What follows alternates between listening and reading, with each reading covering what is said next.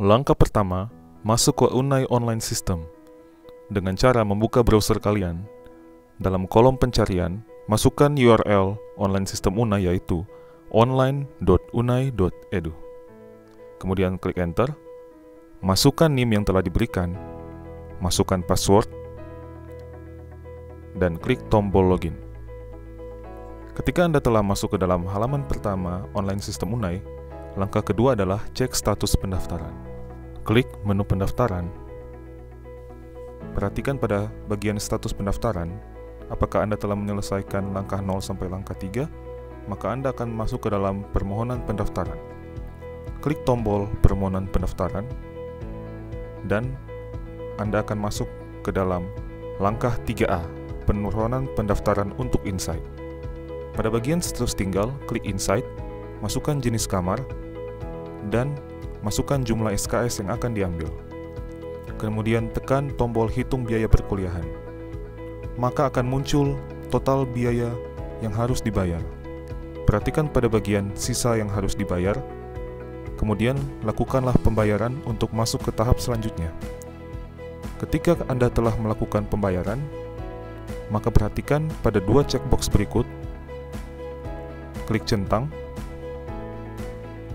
dan klik tombol simpan. Kemudian klik tombol OK. Maka pada halaman ini, Anda akan diminta untuk memprint clearance slip. Ketika Anda klik tombol print clearance slip, Anda telah mendapatkan nomor CS dan Anda bisa masuk ke dalam langkah berikutnya, yaitu pilih kamar. Pada bagian pilih kamar, pilihlah kamar ini ingin Anda pilih, Kemudian tekan tombol pilih kamar dan tekan tombol ya.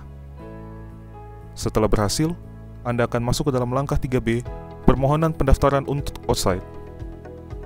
Jika Anda memilih untuk tinggal di luar, maka pada bagian permohonan pendaftaran, klik tombol outside, masukkan jumlah SKS yang akan diambil, kemudian klik tombol hitung biaya perkuliahan. Sama seperti pendaftaran inside, perhatikan sisa yang harus dibayar, Lakukanlah pembayaran, kemudian pada bagian ini Anda akan diminta untuk mendownload surat pernyataan tinggal dengan orang tua.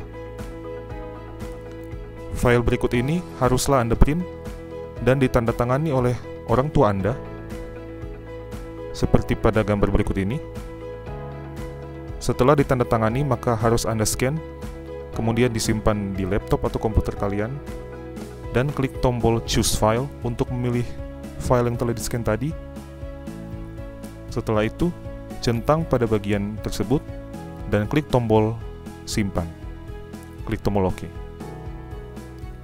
Pada bagian ini Anda akan diminta untuk print clearance slip. Klik tombol print clearance slip. Maka Anda telah mendapatkan nomor clearance slip Anda dan masuk ke tahap selanjutnya. Untuk outside, pilih pada bagian status pendaftaran dan tunggulah konfirmasi dari bagian kemahasiswaan.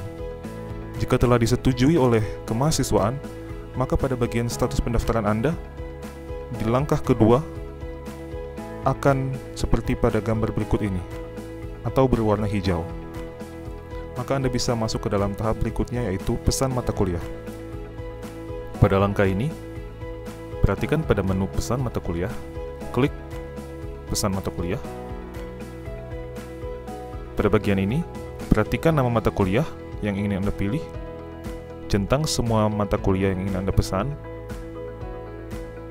dan juga perhatikan SKS maksimum. Anda tidak bisa memesan mata kuliah melebihi SKS maksimum.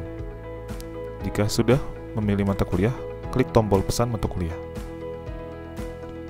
Jika sudah, maka di sini akan muncul nama mata kuliah yang dipesan dan klik tombol pesan kelas.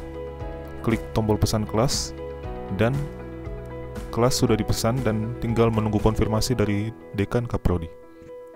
Untuk membatalkan kelas yang Anda pesan, Anda tinggal mencentang kelas yang ingin dibatalkan dan klik tombol batalkan permohonan mata kuliah.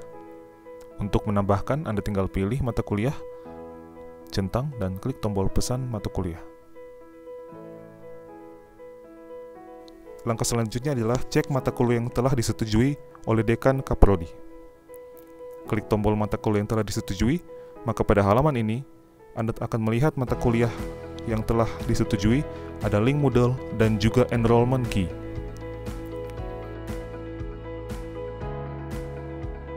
Pada langkah ini, proses pendaftaran telah selesai dan selamat mengikuti kegiatan perkuliahan.